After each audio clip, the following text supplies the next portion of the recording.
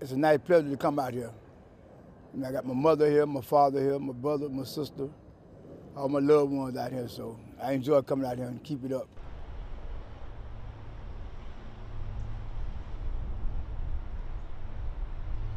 People can be proud, you know, where their loved ones are buried at, and they'd be, and be honestly, you know, be proud to come and visit again, which they are doing now, and I'm so thankful for that.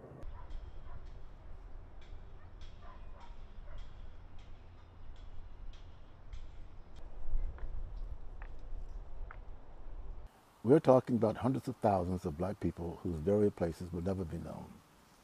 Hundreds of thousands at least, if not way above that. Uh, and I don't know how we recapture what happened to them. I don't know how we bring back what was lost in those places that are now gone. I, I just really believe that Spirit is just wants to see this place do well. And it's so peaceful and tranquil. If you just can come out here sometime and just sit or just just hear the birds chirping and the planes going by, you know, I call it life among death, you know, because there's so much life here even though there's death.